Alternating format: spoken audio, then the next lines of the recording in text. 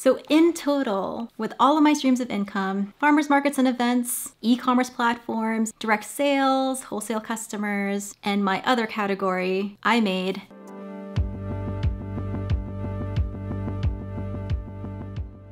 Everyone, welcome to another video. Today's video is super exciting because I'm gonna be talking about exactly what my company made back in December. We finished crunching all of the numbers, recording all of the revenue from our different streams of income and deducting our expenses from that. And I'm so excited to share with you guys exactly how much we profited this month in our business. If you're new here, welcome to my channel. My name is Jerika and I am the owner and creator of Quench. And on this channel, I talk everything about my business and how I run it, how I make my products, and also some behind the scenes information about exactly how much my company makes. If you are starting a soap or bath bomb business yourself, then this is definitely the type of channel that you would want to be subscribed to, so please do so. We are almost at 6,000, which seems unreal to me. Everyone who has helped me get to the point to where I am now, Thank you so much. So for the month of December, we had about five streams of income. In-person sales, e-commerce, direct sales, wholesale customers, and other. and I will go into what other is, don't you worry. I will talk all about that and give you the exact numbers of how much we made through each stream of income. And then on the flip side of that, this video will also go into the expenses that we incurred throughout the month of December. If you wanna go straight to the numbers, I went ahead and put in some timestamps in the description below so you can jump around to the information that's most relevant to you. Now without further ado, let's get into it. So first we're gonna talk about what everyone is really interested in, and that is the income. Like I mentioned before, I have about five streams of income, and the first one I'm gonna talk about is my in-person sales, and in this I'm including farmers markets and the events and the consignment situation that we have with a local bakery in town. Last Christmas season, last December, we had a lot of events lined up. A lot. We did a lot of in-person shows and made okay money doing that. Obviously, with what's going on this year, that wasn't available, and so we only had one event that we did. And actually, it was really surprising to us just how well we did at that one event. The organizer of that event actually found us through the farmer's market and she liked our display, she liked our products, and she reached out to us on Instagram and told us about this event that she was having at her pizzeria. And because it was an outdoor event on their patio in the middle of downtown, the rules about vending were not as strict because people are going to be out in the open air and you could easily social distance on the large patio that they had. I talked briefly about that event in a past vlog, but there was no table fee, and it was our first time doing that event with that organizer, so we had absolutely zero expectations as to what it was gonna be like. Safe to say, it absolutely blew our expectations. we were, I should say Kale was, he was the one that actually did this event while I stayed home, but he almost sold out at this event, and actually that has never really happened to us before in all of the events that we've been doing in the three years we've been making soap. He arrived at this event, and it was only a five five foot table situation, which is really small for the amount of products that we have. And we didn't really bring that much product as well because we were so busy fulfilling orders at that time for wholesale customers, for retail customers. So we didn't really have the best setup. We didn't have all of our products, but people came to support the local businesses because it was absolutely crazy. I think a part of it had to do with the fact that there weren't very many events happening because of the illness and also because of the location of this event. Like I mentioned, it was a pizzeria, an outdoor patio on the main street of Aurelia. So it had a ton of foot traffic. From what I heard, there were beautiful lights that they put up. It was one of those things where if you didn't even know about the event and saw something like that happening, you would probably walk over and check it out. So I think we had a lot of random foot traffic in addition to a lot of people that wanted to come out to this event to support local businesses. So in this event, we made $1,450.94. I'm gonna have to confirm with Kale on this, but that could be our record number of sales for any event that we've done in one day. We were also down to one farmer's market in the month of December. We usually attend about four a week back in the summertime and fall. And this farmer's market that we attended turned into a Christmas show. And we had about three Saturdays of going to this farmers market slash Christmas show. And because this is indoors, there were a lot more restrictions that vendors had to adhere to in order to be able to vend there. Each vendor had to have a barrier between themselves and the customer at their table. And I showed you guys what Kale had made for me, and it was basically a plexiglass shield on two posts. And we attended this Christmas show last Christmas as well, and there was definitely a huge reduction in traffic this year for obvious reasons. But even then, we still made some pretty good money doing this. So attending this farmer's market slash Christmas show, we made $1,264.63. It's actually interesting how we made more in one event than we did on the three Saturdays that we were doing this farmer's market. So you can see how adding both streams of incomes, local events, and farmers markets can really be helpful in, in boosting your revenue. And I decided to include consignment in this category as well. Even though we're not actually present to sell the product, it's still kind of an in-person sale in the sense that the customer is looking at the product in person before buying it. This is a fairly new arrangement for us, so we weren't sure exactly how it would go, but we're making okay money doing it so far. And what consignment is, is, is you put your products in somebody's store and, and they take a cut of the sales. So through our consignment arrangement, we made $145.60. So in total, for all of our in-person sales, we made $2,861.17. Our next stream of income that I'm going to discuss is a huge one, especially during these times, and that is all of the income that we made through our e-commerce platforms. We currently have three. One of them is Etsy, one of them is our main website through Shopify, and the third one is Local Line, which is the virtual version of our local farmers market. And for our Shopify, we actually had a record month. We've never made this much through our Shopify before, so that was really exciting. And if you're in the position where you are wanting to turn your soap hobby into a soap business, I highly recommend getting a Shopify. I've had mine for almost the entire time that I've been making soap as a business. And even though sales were super slow in the beginning, it was always nice to be able to direct people to that website. It really helped new customers see that I was a legitimate business. Shopify has such beautiful templates too, so you don't really need to know about codes or be particularly internet savvy in order to create a beautiful website. I really think having that Shopify helps my sales huge because people go there and they really like my website. So on our Shopify, we made 2,400 and $63.66. If you want to check out what my Shopify looks like, the link to that is down below. We also get our income from Etsy. I've had my Etsy for about two and a half years now. I, I started it in 2018 and it slowly, slowly, slowly grew. Sales on my Etsy have been really good since the beginning of this whole illness began. Even though the sales did die down during the summer, as the Christmas season approached, the sales continued to climb and climb and climb, and it really reached ahead in December. And I'm really excited to say that just a few days ago, my shop finally passed the thousand sales mark which is amazing. Back in March, when I didn't have very many sales coming in, I was about 50 sales. So you can see how an Etsy shop can really blow up in a short period of time. On our Etsy in the month of December, we made $6,223.38. And the last e-commerce platform that I want to talk about is our local line. And like I mentioned before, this is the virtual version of our local farmers market. So on local line, we made $123.09. So in total, on all three e-commerce platforms, we made $8,810.13. The next stream of income is super important, and that is our direct customer sales. And because we do a lot of farmers markets and because we like to participate in local events, our local customer base is, has really grown. And in this Christmas season, a lot of them reached out to us directly for products, which is awesome. They typically pay either e-transfer or cash, and these are people that we've built relationships with over time. Through our direct customer sales, we made $1,160. The next stream of income is our wholesale customers. Yes, they even put in orders in December. I mentioned before that we we got a big dump of wholesale customer orders back in late October and early November, which caused us a lot of stress because we were trying to fulfill those orders in addition to all of the retail orders we were getting in. And so in December, they put in more orders to replenish what they had. And we took those orders even though we had to tell them we wouldn't be able to deliver it to them until 2021. And in the month of December, we made $1,928.31 through our wholesale customers. The last year of income is interesting, and I call it the other category. And this is income that my business made not through the sale of my products, but through other ways, mainly YouTube.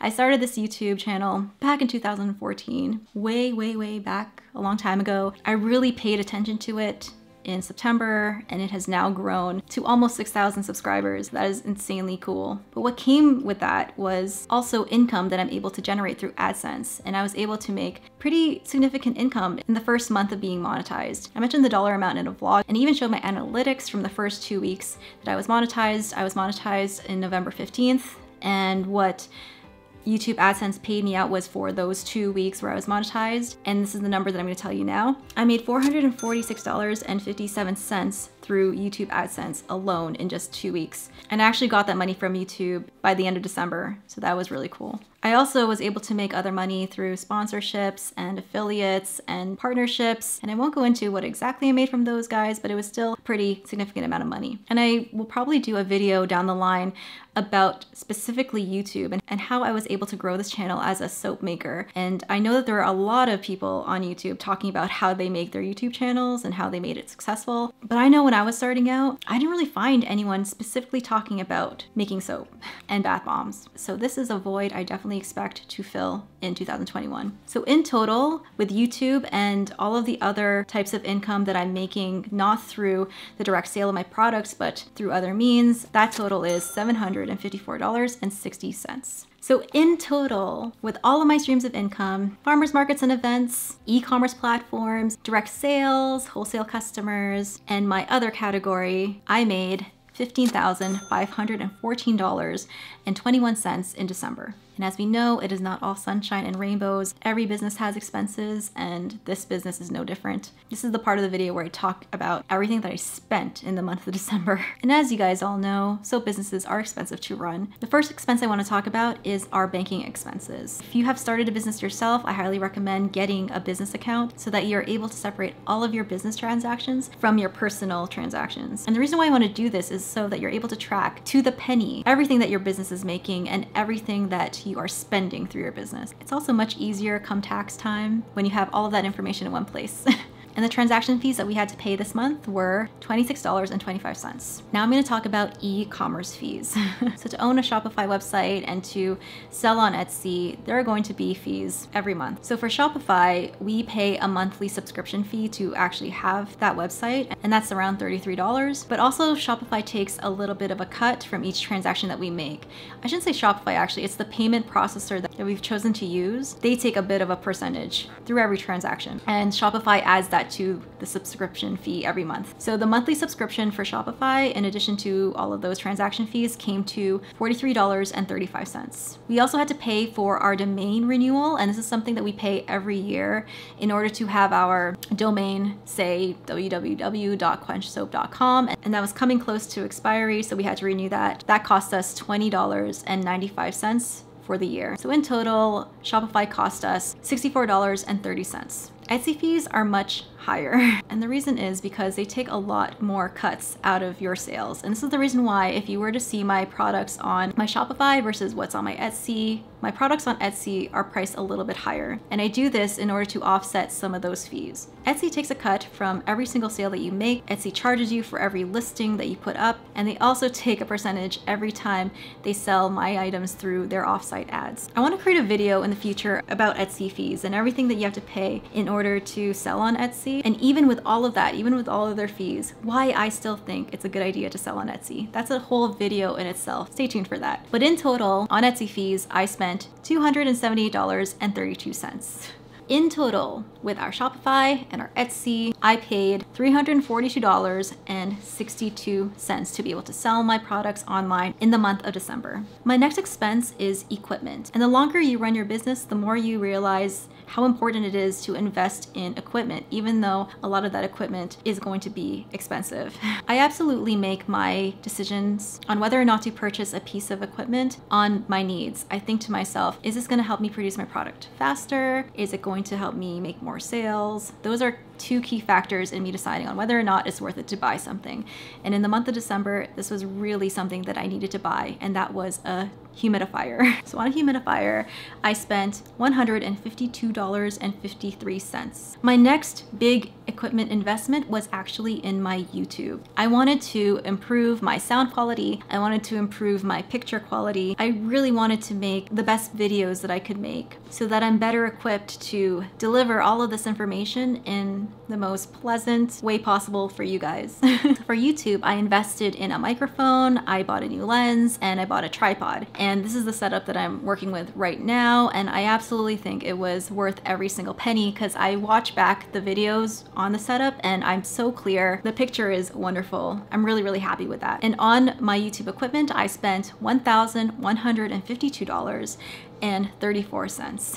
So all in all, on equipment in December, I spent $1,302 and 87 cents. My next expense was huge, but also necessary. I sell online, so I have to ship every single one of those packages out. And with shipping, you have to pay for the shipping labels. I use two postal services mainly. I either use Canada Post or UPS, and I get my UPS rates through eShipper. So on shipping labels, I spent $1,879.26. My next expense is one I highly recommend for all business owners looking to level up their businesses, and that is subscriptions. And what I mean by that is there are a lot of online programs that you can subscribe to in order to improve your labels, the content that you create through your business, and your business materials. But when it comes to graphics and how I create certain types of content, I love and use Canva. I have been using Canva's free version for years and I've been completely happy with that, but I really wanted to level up my graphics game and so I invested in a yearly subscription to Canva for the first time and I paid that in the month of December. It was $155 and 88 cents, which equates to about $12.99 a month. And the last expense that I want to tell you guys is supplies. Obviously with a soap and bath bomb company, you're gonna have to buy supplies in order to make the products in the first place. And you also have to buy supplies to package and ship out that product. So my supplies expenses included ingredients, packing materials, ink, containers, and even office equipment that Kayla and I have to buy. And in total, for our supplies, we spent $2,663.18. So in total, all of our expenses put together, banking, e-commerce fees, equipment, shipping, subscriptions, supplies, we spent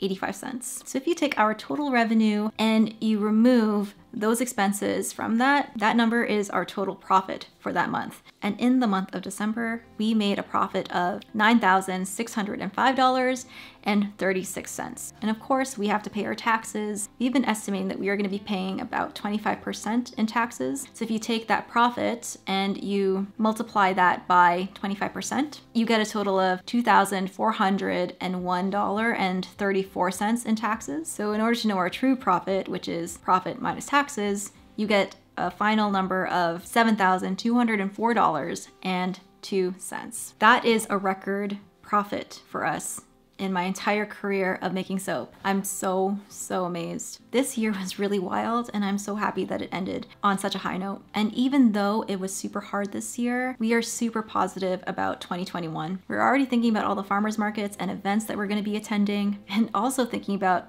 all these exciting new income streams that we that our business could possibly be making as well. With that in mind, we are so excited to see where this business is going to go in 2021 and what our income and expense report will look like in January 2022. I remember thinking last year, this time last year, thinking about how many bars of soap I would have to sell in order to make this a full-time income, and the number seemed impossible to me. I couldn't fathom having to sell that much. It just seemed so much. But I'm just now starting to realize that the more work you put in and the more time you focus on your business, how possible things can be. I just had to be willing to open myself up to new possibilities and opportunities. And with that being said, I really hope this video inspires you, truly. I honestly wished I had a video like this that I could have watched last year to help motivate me when I was just starting out because all of this is so, so intimidating. And if you're in that spot, if you're listening to all of this and you're watching my video and you are so overwhelmed, my advice to you is to take it one step at a time. Approach it like a student learning everything and being a sponge, absorbing what they can in order to get to the next level.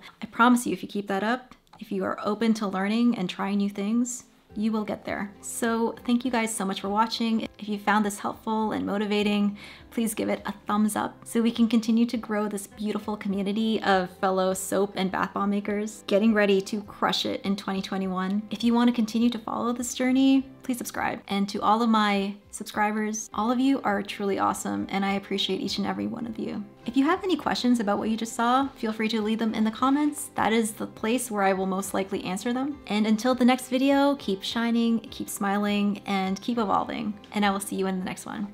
Bye guys.